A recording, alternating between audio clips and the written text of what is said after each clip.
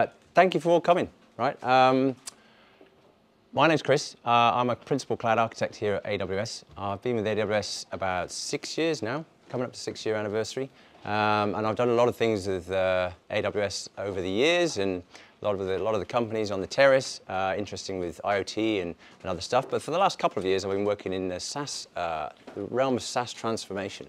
Um, and it's an interesting, it's an interesting topic, uh, especially for companies who want to become SaaS because as, you'll, as I'll, I'll, push home during this presentation, it's not necessarily just about the technical uh, side of things, but if you're a company that wants to become SaaS, there's a whole lot from your business side and your operating model and everything else that needs to go with it. So it's always quite interesting, um, uh, interesting to work on SaaS transformation projects. that said, I'm a developer at heart and I'm always on the technical side a lot more than anything else. And there's, uh, there's a lot to learn about SaaS and, and, and how to build SaaS correctly. And I realized that there's just not a lot of it out there. I mean, there's, there's a lot on, on reInvent and YouTube and stuff like that, but there's nothing kind of local. So I wanted to start a series called the SaaS on AWS series. Um, so these, these talks are in addition to the normal user group talks. And I'm going to try and have them on the first Wednesday of every month. there won't be one in January, but the next one will be in the first Wednesday of February. Um, and the idea is, is that we'll have uh, any of you, any of you, if you want to uh, present on anything to do with SaaS, any challenges or, or uh, cool ways of overcoming things like tenant isolation, all the stuff that I might talk about today, um, and also partners and ISVs, I might get them in to, to help explain uh, how you can build better uh, SaaS applications. Um, so we've got, um, well, I've got an hour. I'll probably spend a good 50 minutes of that talking. So, uh, and it's there's quite a lot of information. I thought I'd do this talk first at the beginning of the series because it kind of sets the scene. Um, we will have a lot of uh, diagrams and we'll get into uh, the nitty gritty of, of, you know, data partitioning and, and um, tenant isolation, all these terms. If you don't know what they are, I'm going to be talking, I'll, I'll be telling you what those are to start with, right? So I'll just spend a couple of slides on what is SaaS. Like, is anyone here working in SaaS, like on SaaS applications at the minute? Yeah? Okay, cool. There's a, there's a few people here so they might know what I'm talking about, right? And you can hold me accountable, which would be good. Working on or working with, okay, that's cool. Both. Yeah, cool. Yeah, well then you might understand how they how they kind of work and run. Um, so this is from the the, um, the aspect of being a SaaS provider and how to build on AWS and what the components within it. I'll talk a bit about the terminology, dive into some, um, just explaining some concepts. Two of those concepts are the control plane and the application plane. So I'm going to dive into those and show a couple of patterns in there. So when I do any of these talks, and I don't know if you went to the Perth Cloud Day, I also did a talk there about the SaaS mindset. You know, it is a business model first. Um, and you know, I get approached by customers and other people like, you know, how do we, how do we turn this into a multi-tenant what's and what's, or how do we use the S3 to the best advantage, et cetera, et cetera. And before we can really give an answer to that, we have to understand what the business realities are of the business moving to SaaS, right? Because that's going to affect your architecture. There's many different ways to do things, as you'll see throughout this presentation.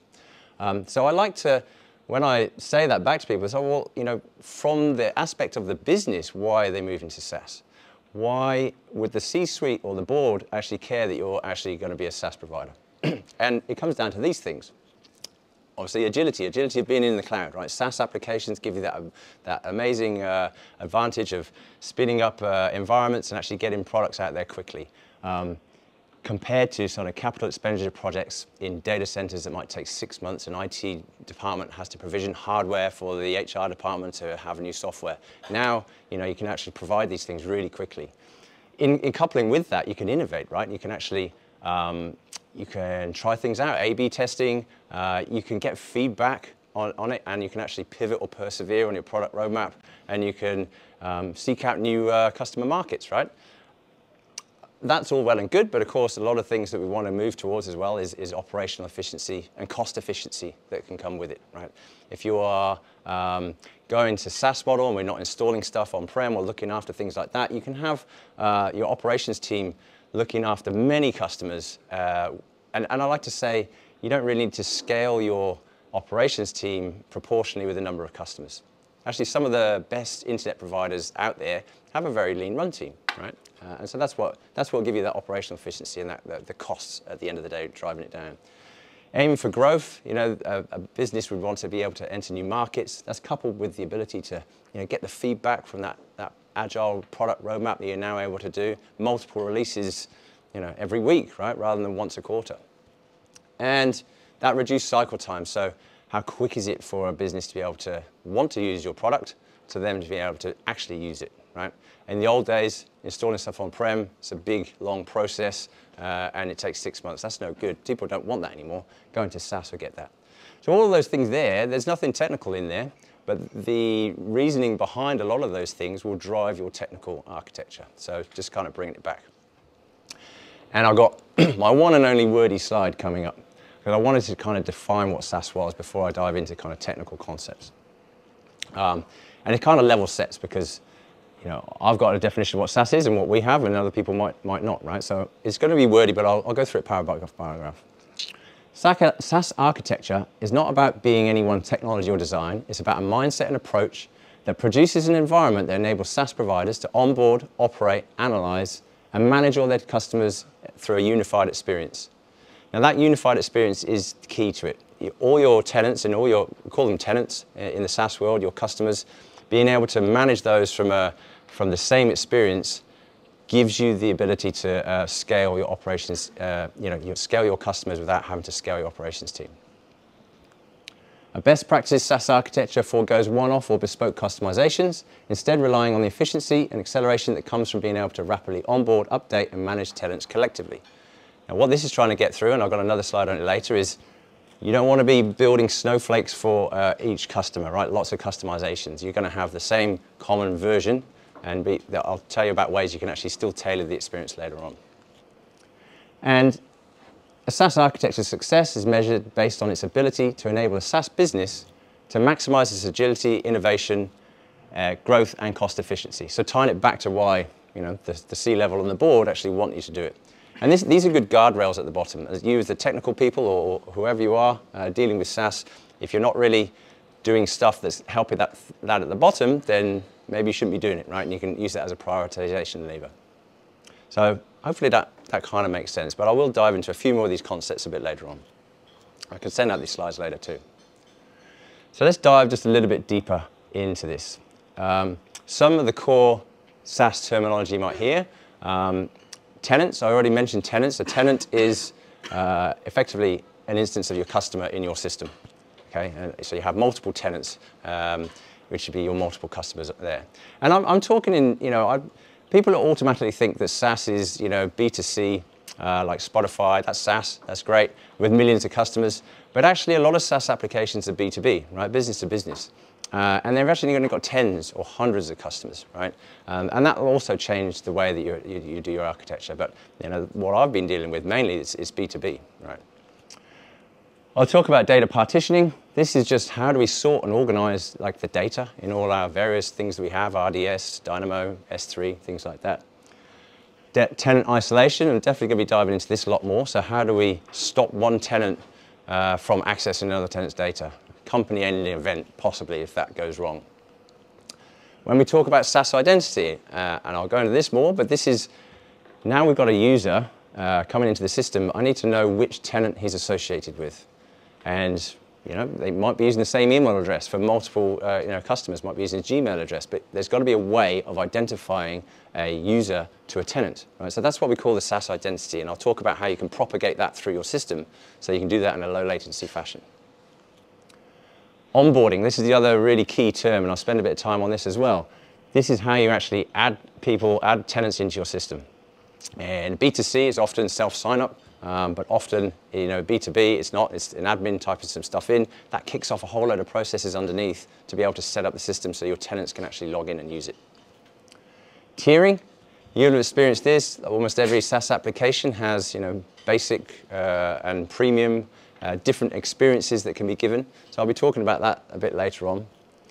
And metering and billing. So obviously you want to generate some income at the end of the day. So metering billing refers to you know, defining what units you are going to be charging your customers at, and then uh, integration to those billing systems.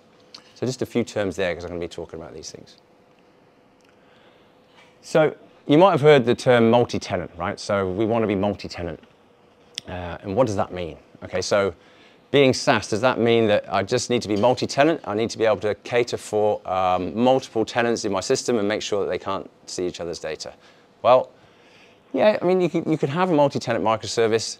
Uh, this is uh, this is in what we call the application plane, right? So this is generally, if you are turning a product uh, into a SaaS service, this is what you've got, right? This is where your product and feature roadmap lives and, your, your features that you're giving to your customers, we call that living in the application plane. It's another bit of terminology there. Um, but just turning that to the latest and greatest microservice multi-tenant architecture, we don't consider that the, uh, you know, being a SaaS service. There's another term that we will talk about, and that is the control plane.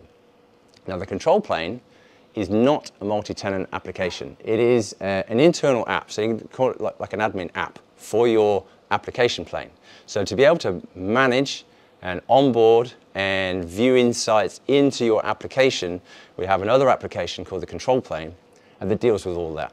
And only, only your company, uh, your internal staff will be logging into the control plane, um, but you know, you'll be federating maybe identities into the application plane, so your tenants will be going into the application plane. But unless you've got that control plane and you've got these cross-cutting concerns of how, how you're able to onboard a tenant, how to manage the tiers, maybe the tiers under the cover change the amount of, uh, you know, the size of your uh, EKS cluster and your tasks, etc. Um, being able to manage the tenants uh, and also get those metrics and analytics, that all happens in the control plane. Uh, and unless you've got that, you can't really at scale manage multiple tenants in your application plane. So the control plane is really important and key to the application plane. And as you'll see as we go through this, there's lots of ways of different of deployments and isolation that can happen in the application plane, and they can be different. But if you're, from the control plane's point of view, when you're looking at it, it's all the same at that point. Sorry, I got a question. Yeah. So,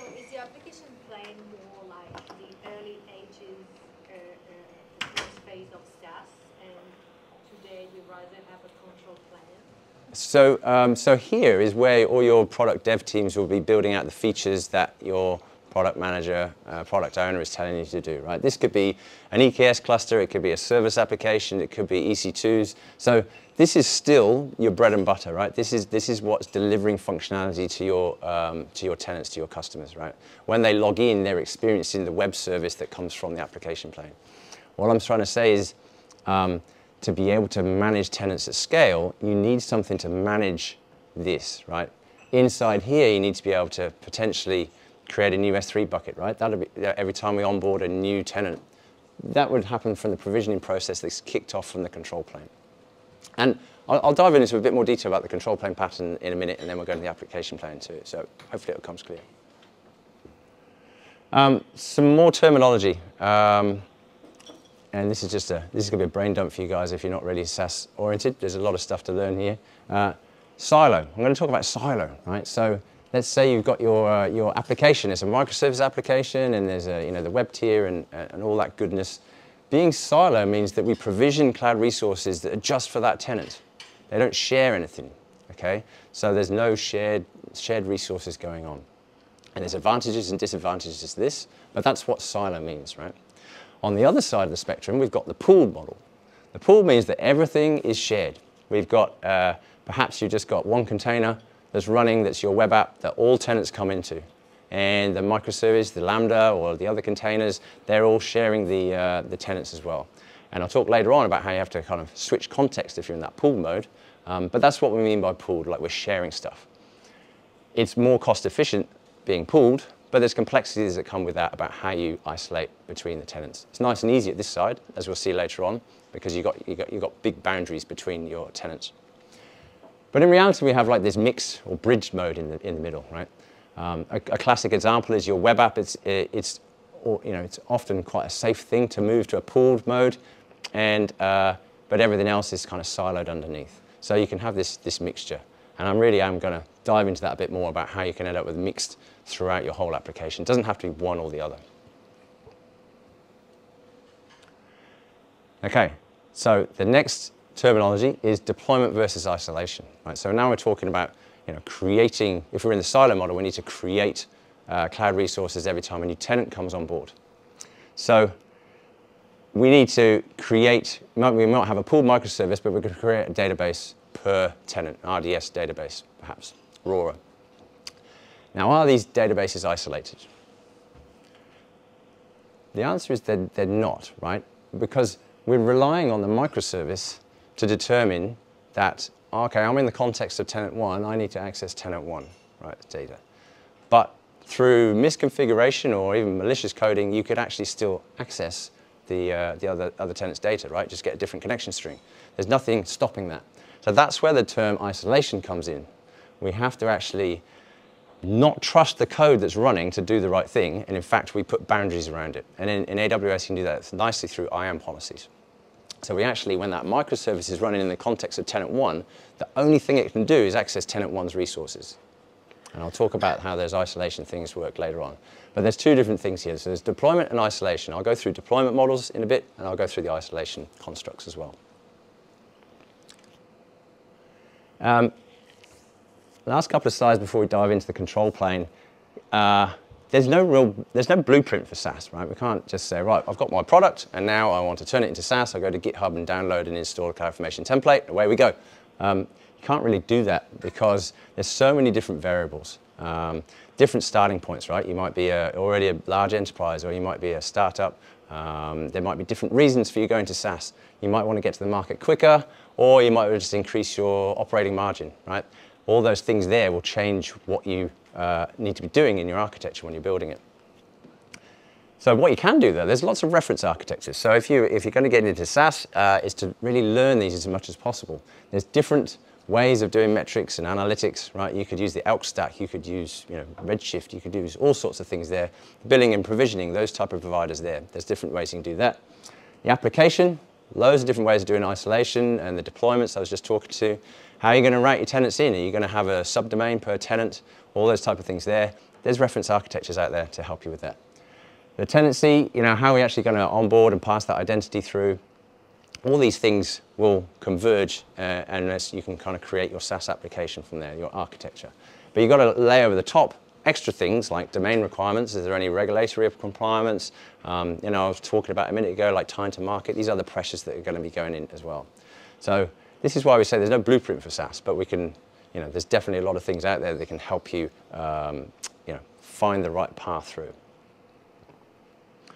Okay, a little breather. We'll go on to the control plane, and that might help understand what the control plane does.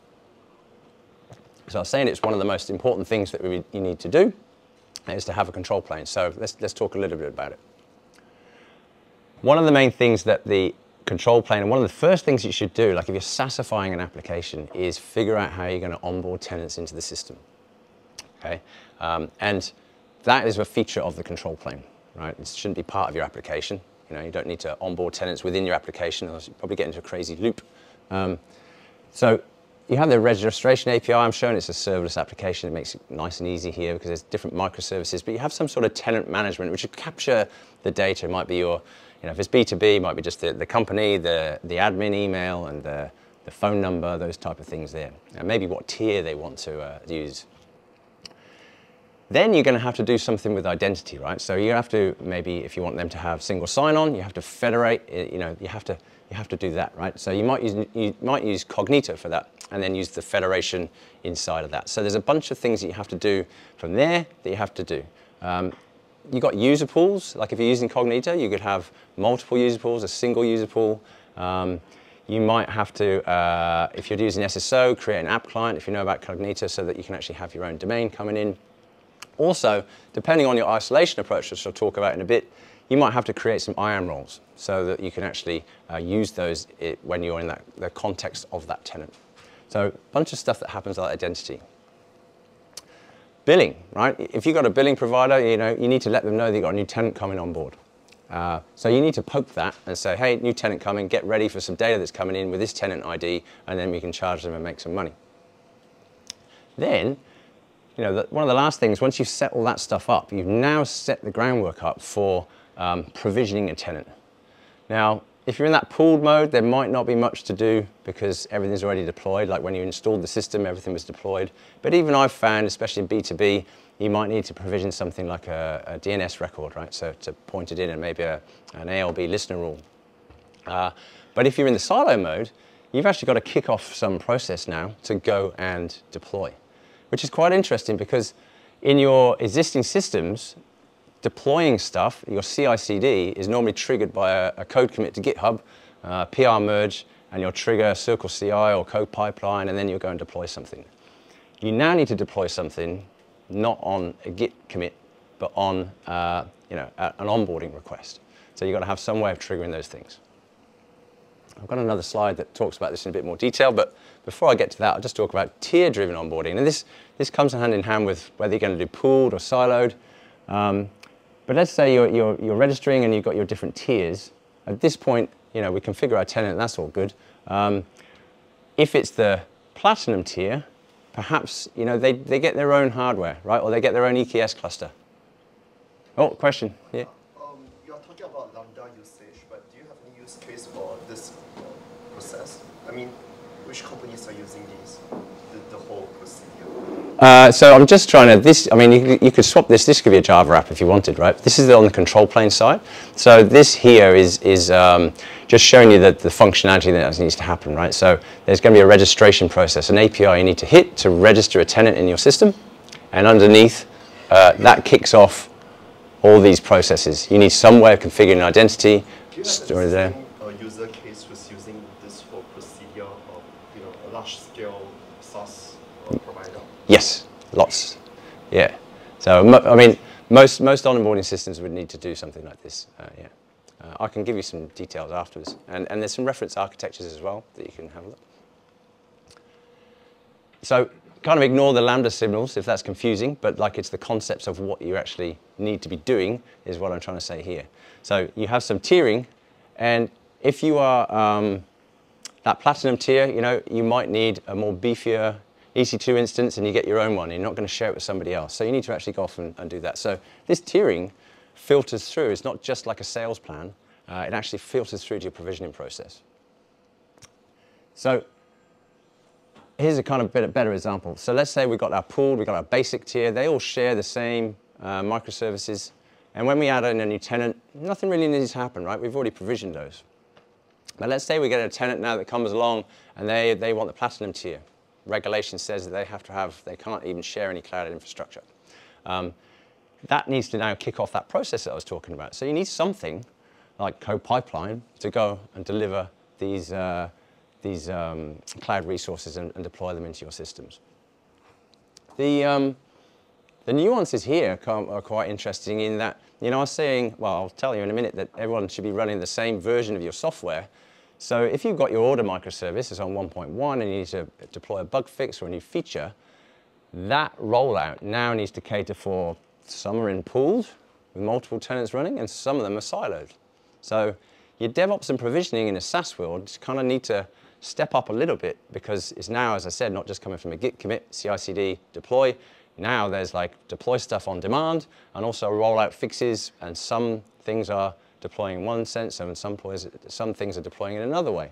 So that's how the tiers can actually affect where you're deploying things to. Typically that's what we see is the tier decides whether things are siloed or whether they're, they're pooled.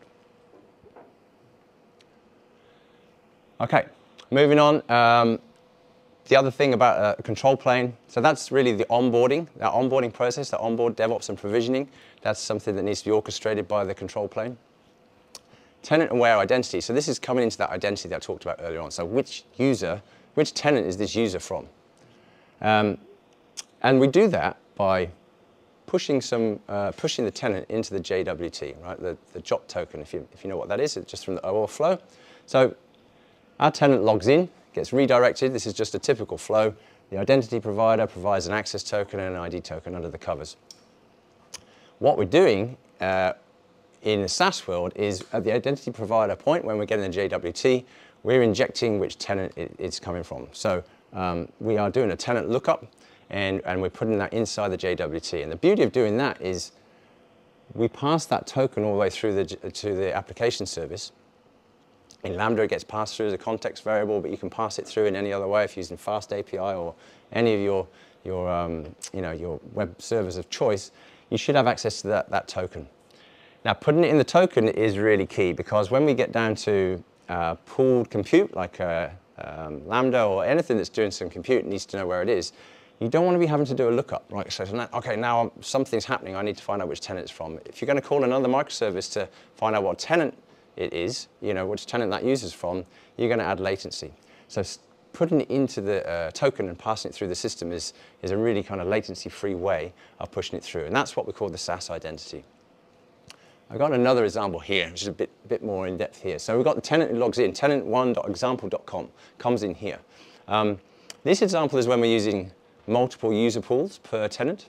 Um, but this is kind of similar to the same if it's a single user pool we need to make a, a, call. So we do need to know at this point which, if we've got multiple user pools, which one are we going to be authenticating against? Which one are we going to ask to be using? So we can, you can put that into the, um, into the control plane and it can make a, make a call to it just to find out the user pool. So there's not much information going there, it's just, yes? I'm not familiar with Cognito and user pools. Is hmm. that sort of like a group? Yeah, it's like a grouping of users, right? It's got a, a user pool, is literally a, a pool of users. Um, and that's how you can, you can apply um, constructs to it, such as like password policies and, and things like that, right? Um, you can have, like, there's two models. You can have a single user pool and all your tenants go into it. And you, like if you looked at the user, list of users in there, you'd have all your different tenants, all different email addresses, like domains in there. Or some people go for a user pool per tenant uh, because then you can have custom policies per that tenant. It means you've got to create a user pool every time you onboard a tenant. Uh, and also you need to know which user pool you're, you're authenticating against. So it's basically when you ask Cognito to, uh, to go and um, authenticate, you've got some request to authenticate, it's like, where am I looking it up? Cognito saying, oh, right, it's this user pool. That user pool is connected to this tenant's Azure AD, something like that. So you go off and so come back a little bit. We go off and get that. We'd store it away just in, in the browser. Now we know which user pool we're authenticating against. Then it's a typical OAuth flow, and we get our token back. So we get our JWT token, but at that point, we've injected into it what tenant it is. Because in, in Cognito, you can, before the, the, JWT is issued, you can actually have a, a, Lambda hook. So just during login, we do that tenant lookup, and for the lifetime of that, that, that token being valid, it's being passed through the system. It goes into your product. So that, that whole thing there is just really you need to be sorting this out, and this typically is not in your application plane. You know, you need to be doing that outside as part of what we call the control plane. Where's the best place to tag the JWT? Uh, you can just put a, uh, like a custom scope in there. Yeah, a custom claim. Uh, I'd put a claim in there. It depends whether you want to see it in the ID, uh, the access token, like a, or the, the, ID token, right? So um, the not having a scope, because scopes you have to kind of request, so I'd have it as a claim. Would you do that as a custom claim? Would you put in the pre-token generation? Yeah, so you can you can inject it as a, as a custom claim in there because you'd have to do it after you've. What would happen is the flow would normally go. You know, you get the code from the uh, Azure AD. It would come back, but before Cognito issues the JWT, yeah. you can make a hook in at that point. Check up your database. Okay, that identity provider is tenant one, so I'll do custom claim. Tenant scope equals I shouldn't call it scope. Tenant equals, um, you know, tenant one, right? And then that's now in there. We issued that JWT, it gets passed through the system. If that makes sense. Um, billing, I'll just quickly talk about this. This is another thing that the control plane would have to set up. Remember I was saying you have to poke that, that system. You kind of have to choose your billing provider. AWS doesn't, you know, really do uh, anything well in the, in the, you know, build your own really billing provider, so go to a third party. But each one of these is different, so you kind of have to choose choose one. It's a bit of a one-way door decision once you've done this because you know, you know, you'd be custom setting up your APIs. But the idea is that you configure your plan. When your SaaS application comes on board and onboarding your application, um, you create that customer inside the billing provider. And that then allows the billing provider to know that you're going to be starting to send data to it so that you can actually go and generate your bills. Okay, so something else that has to be done as part of that billing, if you remember in that, that first sense of the things that need to be done as part of the um, onboarding process. And I think it's uh, one of the last ones on the control plane, uh, just about metrics. Now, SaaS is kind of data driven. You need to understand how your SaaS application is performing. Uh, you need to know what success looks like. And you really need like a bit of an observability strategy, right? You can, you can pump out metrics left, right, and center if you wanted, and there's multiple ways to do it. You could do it through native services, or you could use the ELK stack. Um, but really, you need a way of aggregating those, and also, more importantly, is having a tenant dimension to it. So now you're getting metrics from your application plane, which is the same piece of code, but running in the context of different, different tenants. You need to be outputting in your structured log format what the tenant ID is, so that you can then, um, in, in the logs and the metrics, you can then filter and then actually tell what's going on per tenant. Because the idea is in that application, that control plane, you're going to have a dashboard that can tell you the health of all your tenants, and they'll roll up, and then you can see that tenant one is, you know, using more of something or other, and tenant two isn't. But to be able to do that, you need to be instrumenting your metrics to have that tenant identity inside it. So everyone says yes, that's great, and then actually you've got to do that right. And this is actually not just in the control plane, you have to tell your developers in the application plane to go and change the way they're doing their logging. Um, and you can do that with, as you see later, you can things like Lambda layers, or, or you can, the logging constructs, you can actually uh, hide away the implementation of how they can just pass it to JWT and you know, it, it automatically adds the uh, tenant context to your, uh, to your metrics. All right, how are we doing for time? Okay, good. Everyone's still alive. If anyone wants a drink, I won't, be, I won't mind if you go out and get one. Um, application plane. So, a few more slides for this one. Here's my brain dump. Some patterns for the application plane, right? So I talked about this before. You can deploy different versions of your software for different customers. it's a valid model, and it's called the MSP model, right? Managed service provider. A lot of people, a lot of SIs make a lot of money on this. Um, but it takes a lot of resources to look after those um, you know, customized versions of your application. It's just not scalable, right? If you want to have hundreds of tenants or thousands of tenants, you know, if you're having to look after and know the nuances of what's being developed for one customer versus another one, the tax on your ops team just goes crazy, and I'm not seeing it really scale that, that well. Um, on the flip side, what we're trying to aim for in the SaaS world is everybody's running the same version. So all the tenants are running the same version and we are, that means we can administer it all in the same way. It's hard to have a control plane that can manage multiple different versions if, if, you know, if, if things are so customized, right? Uh, if the API endpoints are different, etc., etc. If everyone's running on the same version, um, it's a lot easier. It means that you can roll out fixes, you can roll out updates in a much better way. So this has often been a bit of an eye-opener for customers when we say, oh no, but you know, customer Y definitely wants to pay us more, so we're going to, you know, we have to we have to change their experience. Well, you can do that, and I'm sure you've all heard of feature flags. Everyone's heard of them, but hardly ever used them, right? So should be using feature flags to change the experience of your tenants. that said, right, if you've got one tenant and they are asking for so many features that you end up with 100 feature flags that are only for that tenant, you probably might be thinking, actually, uh, is, is this right? Like, like is SaaS the right model? Maybe MSP is the right model after all, right? So, so, so use it, but just be aware that don't abuse it. Um, you should try and have eventual consistency, I guess, for your, for your customers. Okay, so back to application plane. So now we have to talk about deployment and isolation. so I'll start with the deployment models. We have the, um, the, the full stack silo model. This is actually a really good starting point because if you've already got an app, you've obviously more than likely got a CI/CD process that deploys it. So you've got some deployment scripts. You've got some CDK or, or Terraform that's going to deploy all your cloud resources. Um, if you're starting out, the full stack silo is actually a really good way to go because you can, you can use that script and for each tenant just deploy a new set of cloud resources.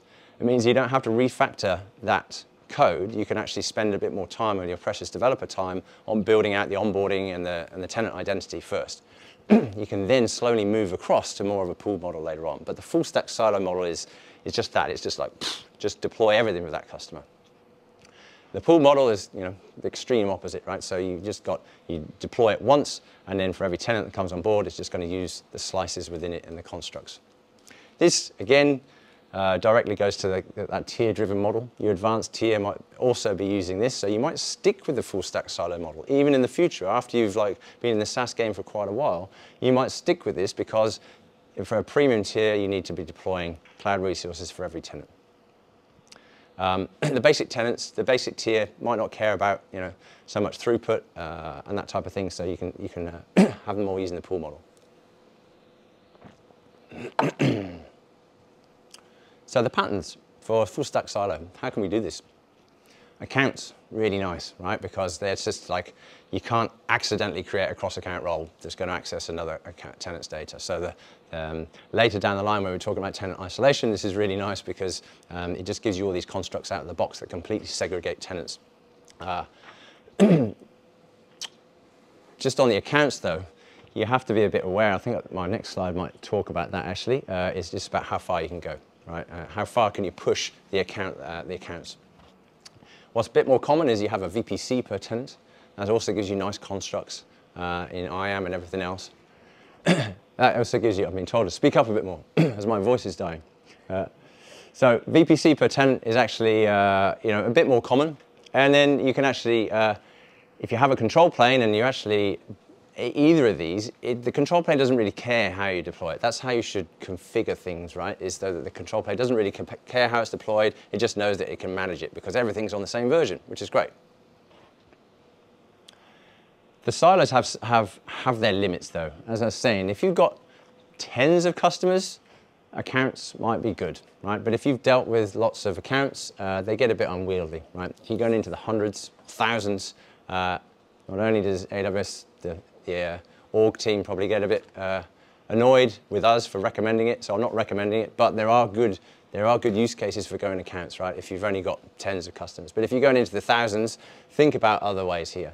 But even like just from the resources point of view, how many you can deploy in an org, you know, the, um, the compute that you can have, and, and VPCs, etc. There are soft limits and there are some hard limits. Okay, so if you're going that silo model, uh, you've got to just be aware of that. There might be a limit at which you can't do it anymore, okay? And then you might have to think about going to the pooled architecture.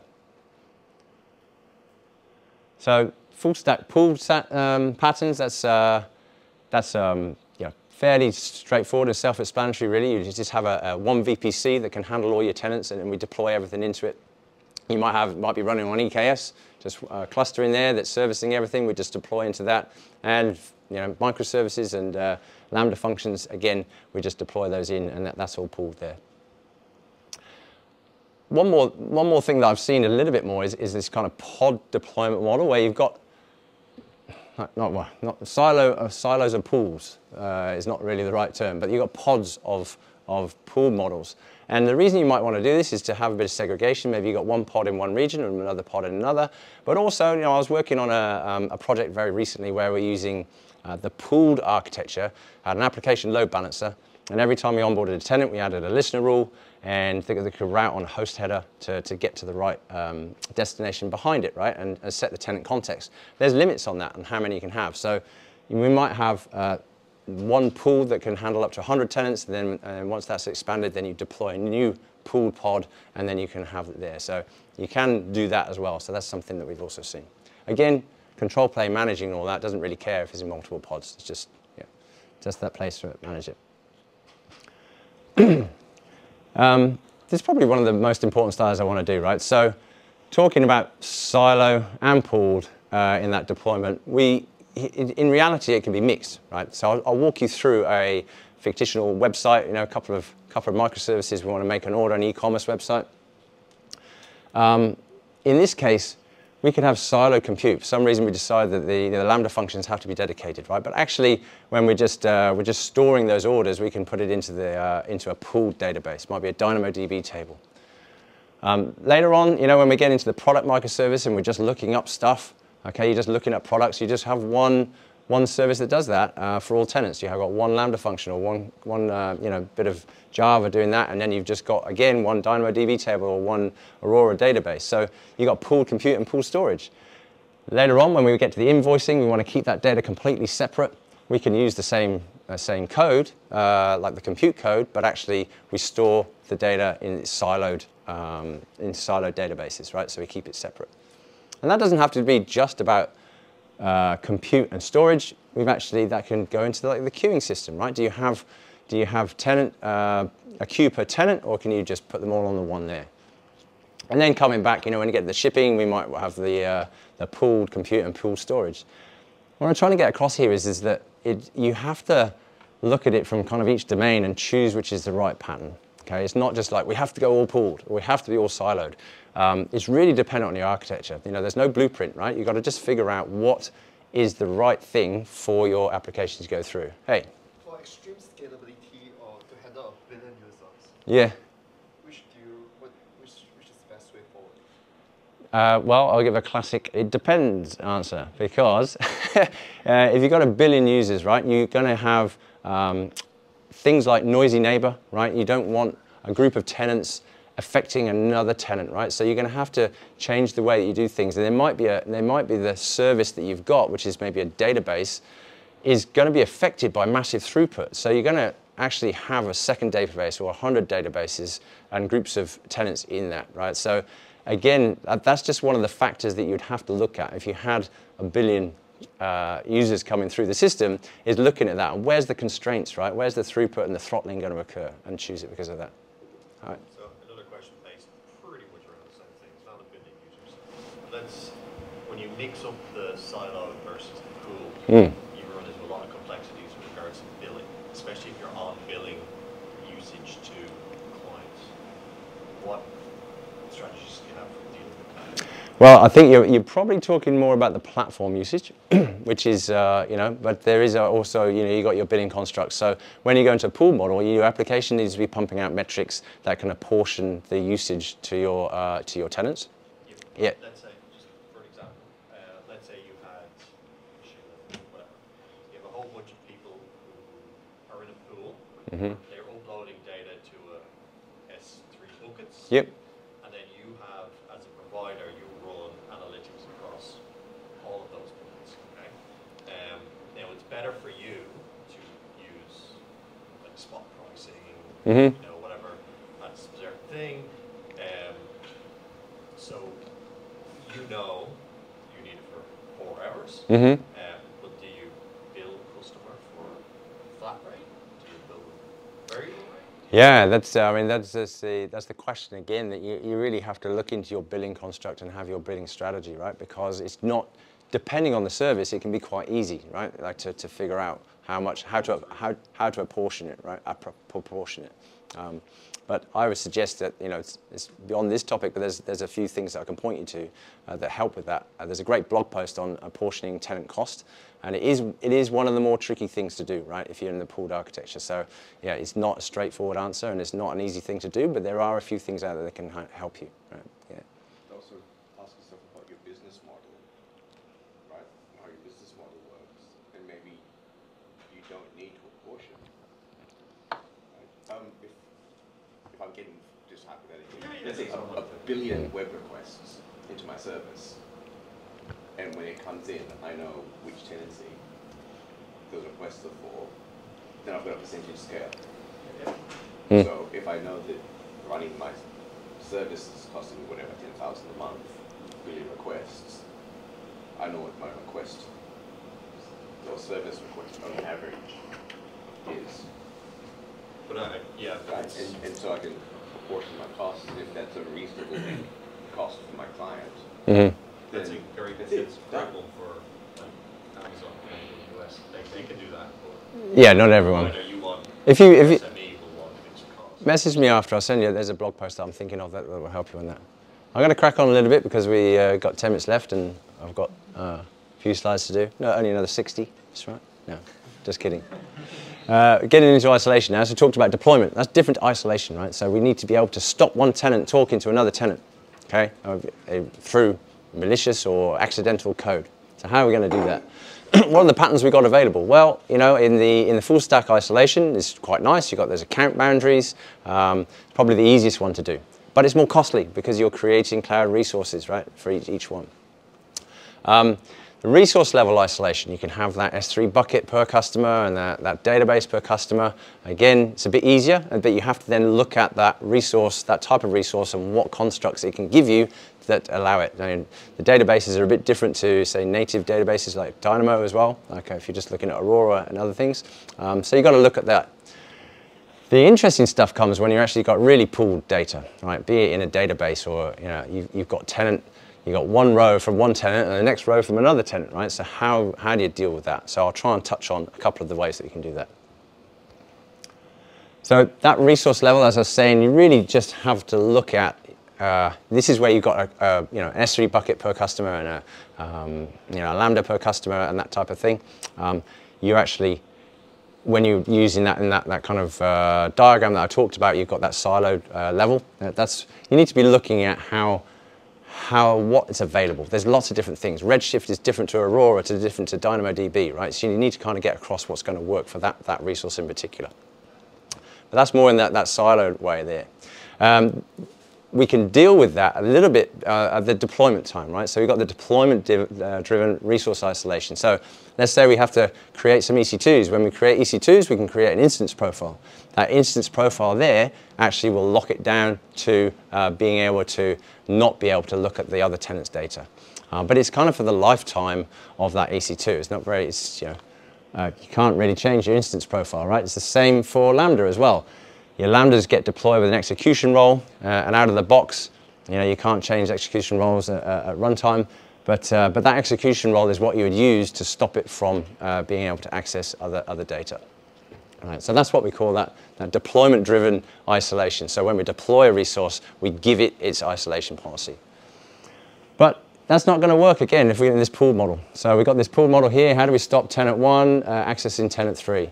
Um, I'll pick, uh, so the way that you can do this is, is to change the scope of the um, uh, permissions at runtime, right?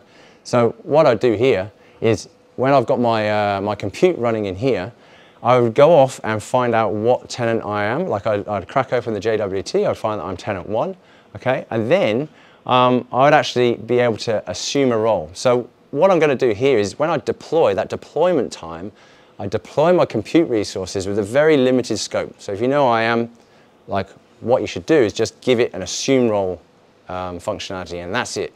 And if you're really into IAM, you can use session tags as well to make sure that you can only access the right thing. It then assumes a role that is specific for that tenant, and that gives it the context now to uh, do that. If you're using Boto 3 in Python or anything like that, you go off and you call, you call, uh, uh, you assume your role and then you get that, and everything else you do in that bit of code is in the context of now your assumed role, which is specific to that tenant. So that's the runtime force isolation. Just a quick question, is that not a call out to STS each time to assume that role though? Is that Just at the beginning, yeah. So uh, it, it, can be, but you can have that in the, you know, you can kind of cache it as well. So you just need to be careful with how, how you do things, right? Yeah. That, that's one way of doing it. There, there's another way of doing it. You can just use session policies as well, but that means you have to kind of deploy with a broader scope and then you scope it down afterwards, right? So in, in reality, it's not, hasn't been that much of an issue. So, um, when we look at, you know, I'll pick DynamoDB for the data store because it's actually one of the easiest. We've got this IAM policy which can actually restrict what tenants you're going to, uh, going to look at using this uh, condition here, like leading keys, tenant one, that actually will uh, allow you to only hit the, uh, the Dynamo table rows that have that as your, as your uh, tenant there. So when you get that assume role, and you get a policy that's created for you. You can have policy templates and it gets put in. Um, this is that tenant that gets put in down here. Hello. Yeah, so we know we've already got limited ways we can slice and dice data in DynamoDB. Is that just that the key value starts with that, or it, the whole partition key would have to be there? That uh, starts with that, yeah. It starts with, so you Yeah. can like Yeah. have a value after that. if you want Yeah, yeah. the. Mm-hmm. Yeah. Keep me honest later, but I think so, if I recall correctly. Um, every service though has its own uh, has its own complexity, right? So there's there's AWS. There's lots of ways of doing things, and you're going to have to learn which ways to do that when you come there. When you come to your pooled, pooled uh, resource uh, isolation. Okay, last few minutes. Sorry, I've talked a bit too long. Uh, data partitioning. This is just really that term that I was talking about. Is actually how how do you segregate things in your databases, right? Um, how do, how do you move them? Uh, like how do you actually like organize your data? Uh, just so you can access it with, uh, with the, the best efficiency. Uh, in the silo model, you can have your, your separate databases, but in the pool model, you know, in, uh, in more of an SQL world, you've got to think about how you're doing that, right? So you can access it better. S3 is really good. There's just use that as an example. There's loads of different ways that you can organize your data. You can access it via tags or via prefixes, etc. But you have to think about that as well, as well as your I. Well, you need to think about the data partitioning first, as you're saying, and then and then figure out your isolation and your runtime isolation and go with it.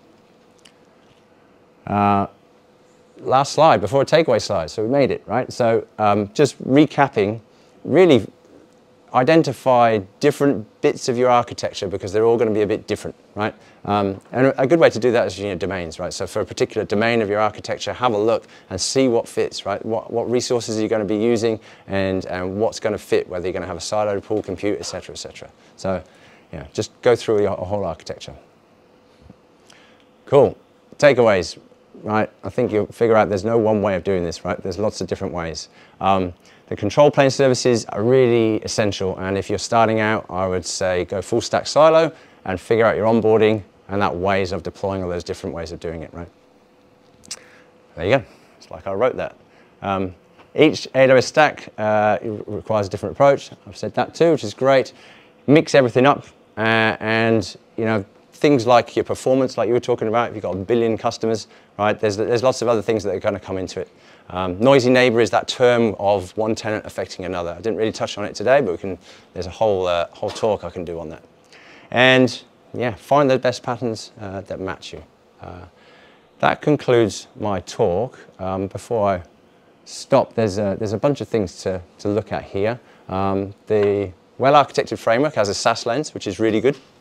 Uh, and there's actually a, a, serverless SaaS reference solution that has a control plane and you can deploy. Uh, it's, I think it's EKS based underneath, but you can deploy, deploy different tenants to it. Um, there's actually a whole bunch of stuff here though. Like if, if you go to this, we've got a, a team at uh, AWS called the SaaS Factory uh, that you can kind of choose. You can kind of see the different, the different categories that you want, and this will find all your blogs. And if you've got billing and metering, you'll be able to find the blog that I was talking about. You can kind of go here and go and find that. Um, so um, do go and have a look at these things if you want, and I'll send this out afterwards. Um, I will ask you if you can, because this is the first one of the SaaS talk, I have got a little survey, and it take, it's like three questions, so if you, can, if you can fill that out. But I'd like to say thank you for sticking with me for 57 minutes, 44 seconds. Uh, and any questions? Yeah. I'm surprised you didn't mention EFS, I uh, Elastic File System. So I was wondering, what do you think Elastic File System would fit in a whole SaaS framework? Uh, again, it's just one piece of the puzzle, right? So if you if you if you need EFS, uh, then then you're going to have to look at the constructs to, to actually how you, how you can partition and isolate that data with it. To be fair, I haven't come across EFS in my in my SaaS uh, journey over the last couple of years, but it can be a thing. Um, I can't. That slide, I kind of mentioned that there's so many um, all our services, right? They can all be applicable depending on your design. You could use all of them, right? Could, you could be using SageMaker to, um, you know, who knows what else, right? ElastiCache and all those type of things. They've all got their own nuances about how you can data partition and do your tenant isolation. So you, you can, you, would have to look at it from that point of view. Yeah. Any other questions? In that example, I think you were talking, um, sort of, sort of like service accounts that you sort of having access, like the tenant will have will have access to the whole entire tenant. When you get to a user level, like if the way the user in that tenant has access to that particular parts of the database. Uh, yeah, so that, that comes down to your application plane, how you're kind of coding that, right? So, so when that comes in, um, you know, that, the, you've got a bunch of users there in the, the context of that tenant. So um, you can use your isolation at that point to, to make sure tenants don't talk to each other, but your application is, is kind of responsible for, I guess, authentication, authorization about what it can, what it can do underneath that as well. But a good point, authentication authorization is not an isolation context, right? You need to have something on top of that. Just had a question around like the design process for SaaS applications. Like you mentioned before, like a lot of the stuff has like quotas and stuff like that, like user pools, mm. you only have like a thousand a region or whatever. Mm-hmm. Right?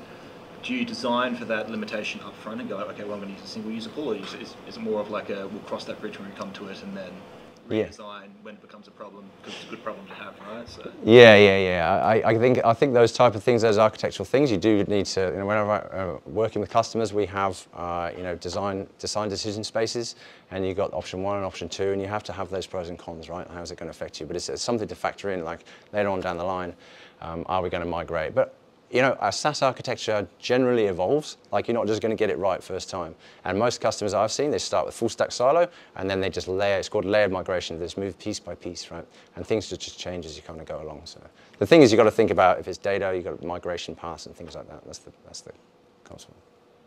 Thank you uh, for the talk. Uh, regarding um, this SaaS model, are there any like compliance requirements which drive Mhm. like a pool or a silo or? Absolutely, yeah, they do. Uh, and often it's perceived compliance regulations because a lot of them, you know, the, the constructs of tenant isolation are good enough, but um, companies feel a bit more safer if they go with like a silo model because then they definitely don't have to struggle so much with those type of things, right? So, but they, yeah, it can definitely. You've got to know your customers, know your domains, and know your regions.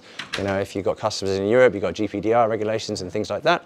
Uh, that can all come into it. And then there's, there's a bunch of other things you can use there, how you set up your landing zone and, and control tower and things like that can help with those kind of things there. But yeah, they're definitely compliance, noisy neighbor. Um, I was talking from the control plane perspective and not from the Ah. application plane.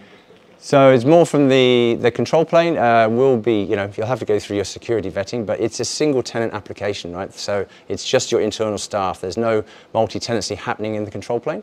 That's all happening in the application plane. So it's a bit more of a light touch and it's often, as you see, just a bunch of lambdas kicking off step functions to do some orchestration. So the actual, um, you know, the, the complexity might be in your deployment scripts, etc., that you got in a step function, but like as a construct of, you don't not really have to deal with multi-tenancy in the control plane, so it, it makes it a lot easier. Okay, thanks. Yes, come to you next. After you, yeah. I'll probably go about two hours of questions, but um, I look at this from a, my job is cybersecurity, assessing SaaS platform from cybersecurity perspective, so this would be really, really helpful. Yeah, cool. Um, going back to the compliance thing too, just looking at um, that was what you just said, they perceived that, you know, is, they might want a siloed thing, but then when you show that there's hybrid models, Mm. so when you're, when you're assessing a platform, you're saying, are you a hybrid model or are you Mhm. a Yep. shared model?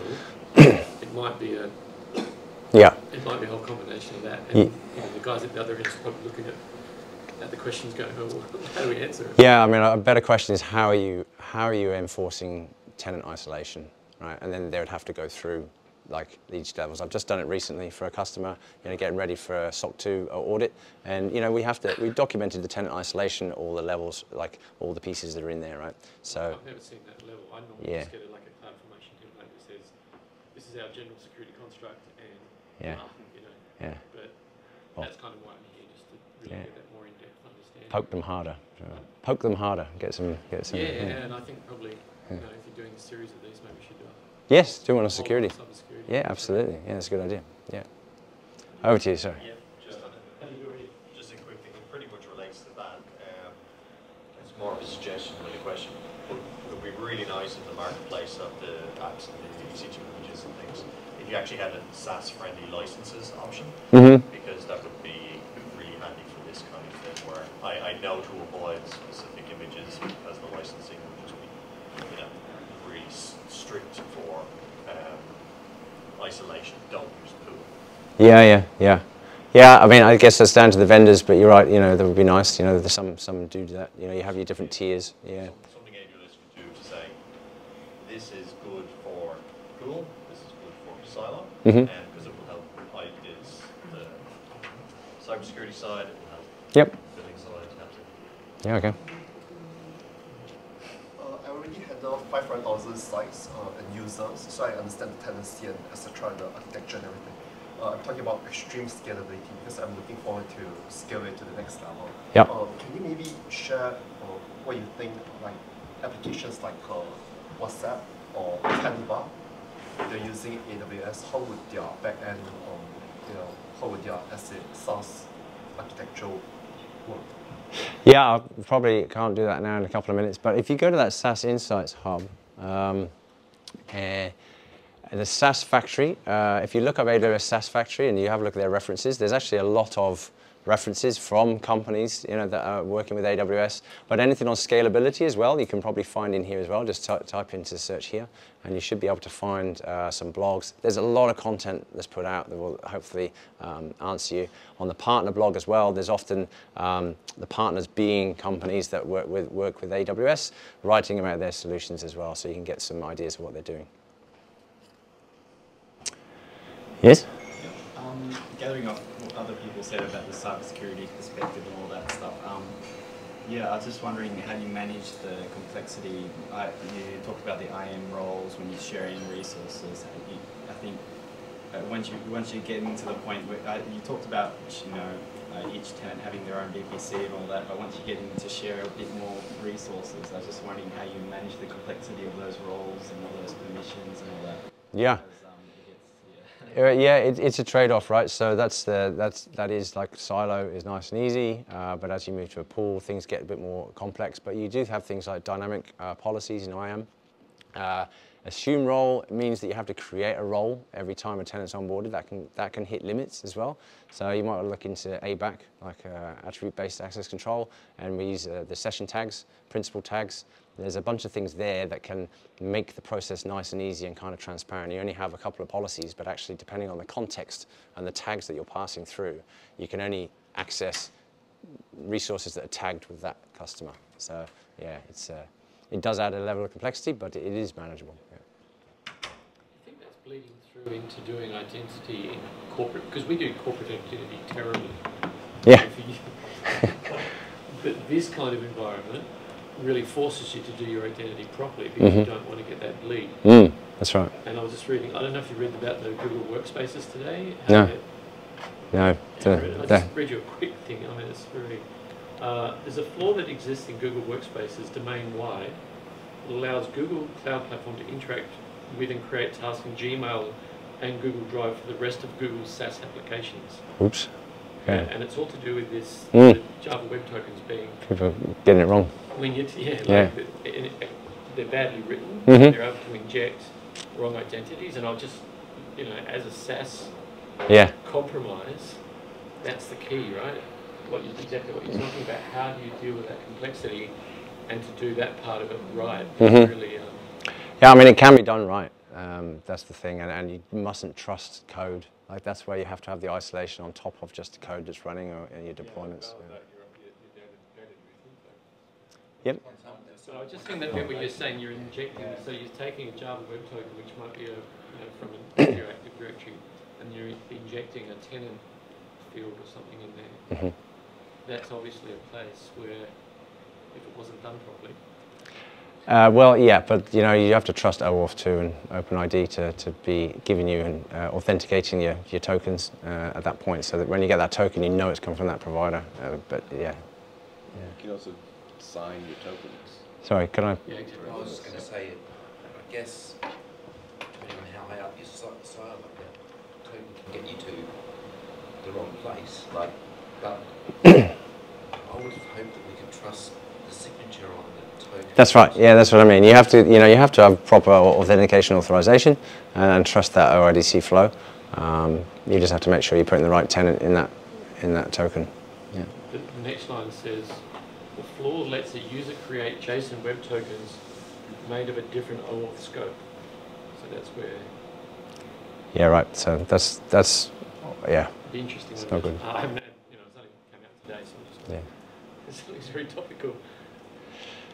Cool. Take a couple more. Can, can I say something? Um, I've checked out on the IAM and everything else, the policies and everything, and they, they just mentioned cybersecurity. To, to be honest with you guys, uh, I cannot find any information from the internet, but ChatGPT 4 actually managed to answer all the questions. so I was wondering if you you could probably update some of the places and some, some of the things that you know is easier for you to find. Uh, yeah. Yeah. Yeah. But I got the answer from ChatGPT. Yeah. Just be careful. ChatGPT is very good and convincing that it's got given you the right answer when actually it's quite often wrong. Well, th- thank you for coming along to the first SaaS on AWS talk. I hope we have, if, if anyone works in this area and you have something to, to talk about, be it cybersecurity or, um, or even if you want to know about uh, any of these more topics in, in general, um, I've got a few uh, people interested for the talks next year, but it's, it's wide open. So if you want to contribute, I'm really happy to do that. Or if you know somebody who might want to contribute, then please, I want to try and try and get this series going. So there's, there's as you can see, there's loads to kind of dive into. Um, so there's particular areas. They don't all have to be as long as this one, but I just really wanted to give you a massive primer on, on the process. Cool. Thank you. So these are going to be the first Wednesday of each month? starting Yes, except for except for January. So first Wednesday of February will be the next one. Yeah, cool. Thank you. Cheers.